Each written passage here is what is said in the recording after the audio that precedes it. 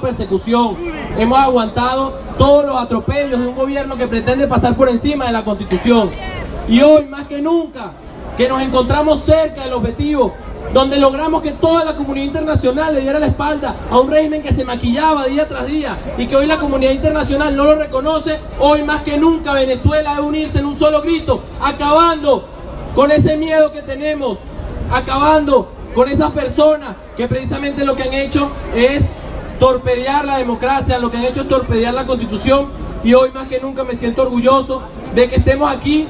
más allá de todo lo que hemos aguantado, más allá de todo lo que hemos luchado y que hoy de todas las edades, jóvenes, madres de familia, sociedad civil, nos hayamos encontrado en un propósito en común.